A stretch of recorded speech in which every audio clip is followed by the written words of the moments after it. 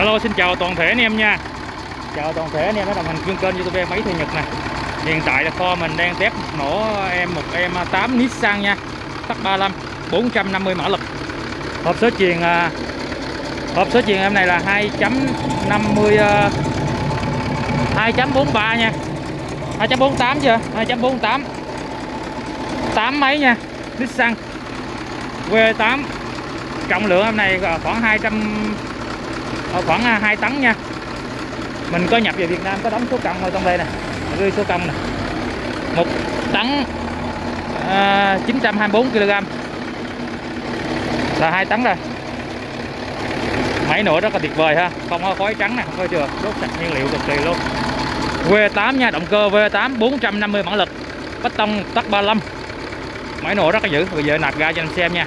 Anh em nào quan tâm vui lòng liên hệ số thoại bên dưới nhớ bấm vào cái chuông đăng ký kênh để nhận những video mới sắp tới. Chân thành cảm ơn anh em rất nhiều ở đồng hành cùng với kênh. Đây là địa chỉ của mình nha. 688 sạc 2 Kinh Dương Vương, An Lạc, Bình Tân, Sài Gòn. Đây giờ mình nạp ga cho anh em xem thấy nha. Lập cỡ nào nha. Rồi, chất lượng đó.